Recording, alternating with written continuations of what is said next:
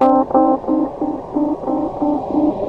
we're now beginning to get an idea of what you mean by ecopolis, which you, which you put, paint as the, the opposite of Petropolis. It's a lovely idea. And um, amongst its features, you suggest is the concept that we should each only consume about 2,000 watts. Now, this, this is already in practice. Apparently, it's an idea that began in Switzerland. How popular is, is this idea already? Well, it hasn't been implemented yet in Switzerland. There's work going on in Zurich and in Basel and other Swiss cities to try and reduce the throughput of energy to something like that level, currently about five to 6,000 watts per person. Now, one thing we need to look at is if, if we look at the energy output that a human body is capable of, it's only about a thousand, uh, about 100 watts. But we are on a daily basis across Europe using about 6,000 watts in America, double that figure. So we have an enormous challenge to try and get uh, down to, uh, from in significant ways from our current uh, 6,000 watts or so in Europe, elsewhere, as I said, in America, double that figure in Australia too, by the way. So certainly in Switzerland, there's now active initiatives in this direction where uh, it is shown that in the 1960s, uh, Swiss uh, citizens used about 2,000 uh, watts per person. So that means obviously energy efficiency in buildings, in transport systems, uh, reduced reliance on the motor car, and all the various measures that you know the environmental movement has been talking about for years. And it's certainly perfectly feasible for us to do that.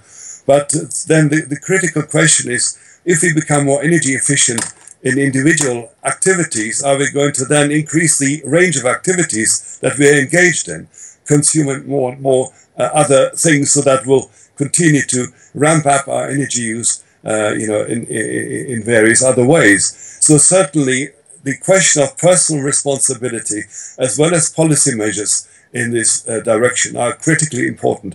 When I say policy measures, is actively encouraging people to consume less rather than simply replacing an energy consuming activity that has been reduced in impact by other consumption measures. So that is a critical issue. And it also very much directs us in, in the direction of, you know, really seriously thinking about the future and how we as individuals need to take ethical responsibility for the way we use energy. Of course, the question then arises, can we replace the current input of fossil fuels into our urban systems with renewable energy. And there's certainly a lot of you know examples now from around the world where this is beginning to happen. Cities like Copenhagen, or I, I worked in Australia and Adelaide, where we're showing that uh, it's a really significant proportion of the energy now supplied in these places coming from wind power and from solar power. All this is great stuff, but it would be an illusion to think that we can do this from within the urban territory cities are usually quite densely built up areas, and so certainly to have enough surfaces for solar energy or to have enough places where we can have wind power within city uh, environments is very, very difficult indeed. So that's why we need to look back at how cities in the past were connected closely to the uh, environment around cities, not only from the point of view of bringing in energy resources, but also food resources. It is perfectly possible to reconnect much more closely to the local environment of cities rather than relying on global supplies as we currently do. And that's certainly part of the story of creating uh, regenerative cities, or as, as I use the term, ecopolis in this context. By the way, this term has been used quite a bit by other people as well, not just by myself. Sure. Um, but you do have a, a, vast amount of experience which you've distilled into this remarkably concise book. And um, I, am wondering uh, if there are any other things that you've left out of the book. For instance, perhaps some case studies from Africa or other developing countries, uh, which you might like to share with us. Well, I personally have worked um, in various cities, uh, particularly in Europe uh, uh, I did a lot of work on London, kind of defining London's metabolism some years ago, simply quantifying the problems, the resource use problems of a huge urban system such as London, which I did about 20 years ago.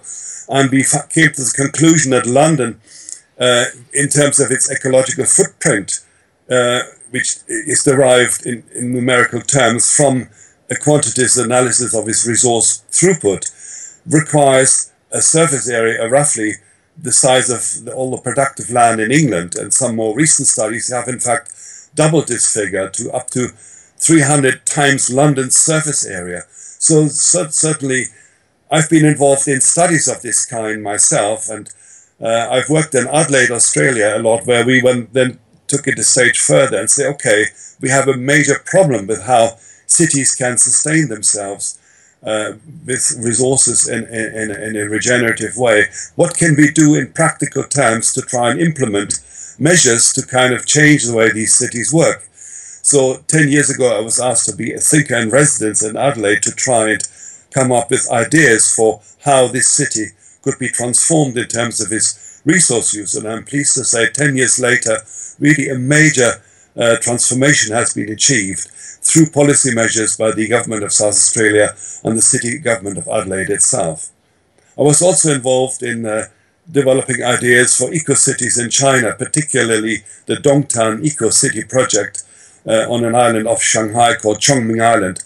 Unfortunately, that project hasn't impl been implemented so far, but it is certainly true that it has been very influential in planning policy terms throughout China, and we can look forward to much more sensitive and I would say regenerative urban development measures in uh, countries like China, where currently uh, urbanization is rampant and until recently has not been very concerned about the, the implications for resource use and for pollution and all these uh, externalities uh, that uh, have uh, reared their ugly head. air pollution, for instance, in Chinese cities, as we know, is a huge problem, but the question of how uh, that air pollution trans translates to climate change is only now being considered and hopefully will be coming up at the COP20 and 21 conferences, climate change conferences of the UN uh, this, this year and next year. So there's certainly a lot of thinking going on about how an urbanizing world will become or could become compatible with the world's ecosystems. But so far, when it comes to actually impl implementing solutions, we are still very far off the mark at this moment in time. People yeah. are still wanting to build Petropolis rather than Ecopolis across the world. That's right. And of course, the will has to be there for, for a city to become a regenerative system. And uh, not just the will, but there has to be training, there has to be accountability. And this kind of, uh, if you like, structure inbuilt into society has to is especially lacking in, in developing countries. So how can we overcome these challenges so that they they don't people there don't make the same mistakes as, as are being made in cities like Dubai and Saudi Arabia that you document in your book. But they seem to yeah. they seem to want to emulate, don't they? Well, certainly when you look at these Middle Eastern cities, and I've done quite a lot of work in, in recent years uh, in, in, in the Middle East, particularly in Saudi Arabia. I mean, we are staring at monstrous urban systems in the face there. It is just extraordinary mm. how, of course, countries that are so, uh, you know, rich in fossil fuels then build cities that are utterly dependent uh, on, on powering their cities in this way. But when it comes to, for instance, Saudi Arabia, it's a very interesting story. Uh, it is expected that under current trends, uh, this you know world's largest exporter of oil could require all the all the oil resources that are currently produced in Saudi Arabia for its own use. Already, it's about 30% of the oil produced in that country are now used within the country itself for, you know, running uh, SUVs, you know, with the, the price of petrol there is about 12 uh, cents, you know, euro cents a, a, liter.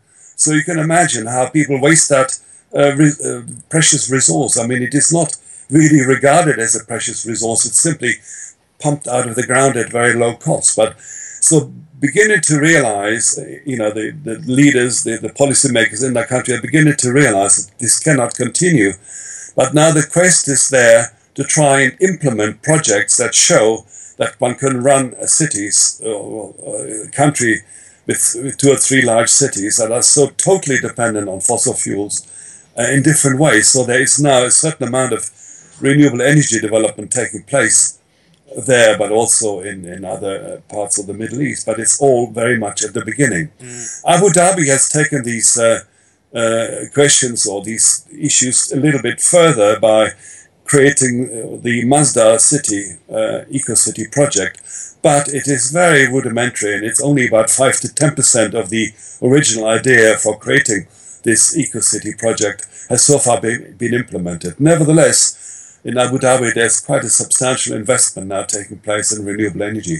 And some of that is some of that money is actually coming all the way to Europe. Like for instance, the London Array, the large, the world's largest wind farm in the Thames estuary, is part funded by Abu Dhabi. So there are interesting developments of this kind, but it's never enough. We are sort of gradually heading in a better direction, but it's all still too little, and if we are not careful, too late. So, uh, are you pessimistic or are you optimistic about the future? Do you do you think we can turn this around? We need an enormous acceleration in the speed of change, and so far I don't see that happening to anything like the degree that is necessary. It is certainly true that at the level of discussions about the future of cities, city organizations like ICLEI or like, uh, you know, on, on, a smaller scale, the transition town movement in, in Britain, which is spreading uh, across the world. Uh, even the C40 initiative in, uh, started in, in, New York and London. All of these, uh, and there are many others, all of these uh, initiatives are beginning to look at the environmental and particularly the energy performance of cities. And that's all very good stuff. And it's been argued that policymakers in cities in some way are further advanced with trying to address these issues than national policymakers. So that's all good stuff. But when it comes to enabling cities to act differently, we are not going, haven't gone very far so far. Typically, cities are at the receiving uh, at the receiving end of national policies, and unless we can change, change national policies for the benefit of regenerating the way cities work in a major way, we're not going to get there. So I think we need a major, major policy push to kind to persuade, first of all, the general public that there's a problem that we have to deal with. Secondly, national governments that they have to give new incentives to their populated areas, their, their human habitats in new ways. And thirdly, then, of course, uh, we need uh, in international agreements to bring really significant changes about. I hope that we can accelerate this process. I'm not convinced at the moment that we are uh, getting there because the interests of those who run the world, uh, you know, these are not just um, governance interests, but they're financial interests, and those are currently going very much in the opposite direction. Well, in, indeed. I mean, in order for us to consume less, we would surely have to abandon the capitalist system, which is surely predicated on continued growth and continued increasing consumption. Yeah, there is a major systemic issue in terms of economic and financial systems, uh, which cities are only a part of, of course. I mean, cities are expressions of that of those types of ideologies, and so currently, uh, you know, they are a reflection of what is happening in terms of economic growth and financial borrowing systems, you know, in ways that currently operate in the world, and uh, you know, they are still spreading across the world, even in places that are relatively sustainable at this moment in time. So we have a big, big problem on our hands, and I can only hope that, you know, as obviously it is often being said, once we are experiencing uh, things like, you know, major sea level rises or major temperature increases, major uh, uh, atmospheric uh, you know, problems like hurricanes and so on, as we are beginning to experience that, then will trigger uh, a major response by the international community. But then it will be too late. So we need to learn how to anticipate and predict and act uh, with foresight rather than responding. And that certainly is not something that we are good at at the present time. No. Um, but you're doing your bit. one of the places where you're working now, I believe, is in Bristol. And Bristol is yes. somewhere where there is the, the Bristol Pound, which is an attempt to yep. to come up with an alternative economic system where wealth is kept and invested under, I suppose, different rules and, and kept within the, the city boundaries. Do you think yeah. that this is a possible solution for other cities to follow?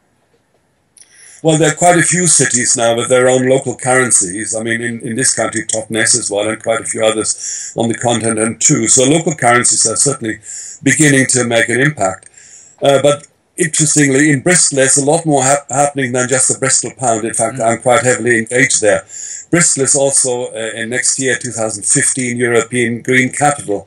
And uh, it also has an in- independent mayor who was elected two years ago, George Ferguson. And there's really a very interesting constellation similar to what I experienced in Adelaide uh, 11 years ago of uh, both large numbers of local people and community groups, NGOs, uh, you know, all under sort of green uh, sort of paradigm, as well as uh, a mayor who wants to see Bristol at the for- Bristol at the forefront of uh, a city moving not only towards uh, regenerative development, but also to create an, a new economy from that. So there is a lot of convergence of a whole range of different uh, developments in, in Bristol that I think are very hopeful indeed. And I think we will see next year whether or not it can make a significant difference to transforming that city. Uh, one of the best examples that I know of a city that has transformed itself, apart from the example already mentioned, which was Adelaide, is actually Copenhagen. And I've written that up in my book, uh, Creating Regenerative Cities. Copenhagen has gone, done all the right things in terms of renewable energy, in terms of uh, pedestrianize, pedestrianizing its city center, uh, cycle tracks everywhere, uh, energy efficiency, combined heat and power, uh, and all the ingredients of regenerative cities are really in place there. It is a really, really remarkable development. So I think we are seeing more developments in terms of retrofitting existing cities in developed countries than currently uh, new ecosystem, eco-city developments or ecopolis developments across the world. But certainly, one shouldn't give enough ho- give up hope. Certainly, as the world's leaders and as the world's people realize that we are on a major collision course with our own future, I think these ideas will come to the fore of hopefully much more rapidly than currently seems to be uh, uh seems to be the case. Well, I certainly hope you're right, Herbert. Um, it's been a great pleasure talking to you. Thank you very much for talking to us. And David, thank you very much for all your brilliant work with the Sustainable Cities uh, Cooperative. I think you're doing a really brilliant job, and I really love looking at your website and uh, all the uh, discussions that you initiate on on, on Facebook and uh, on, uh, on LinkedIn and so on. So thank you very very much for all of that. That's a it's Doing a, you're doing a great job. Thank you, Herbert. Speak Bye-bye. you soon. Bye bye.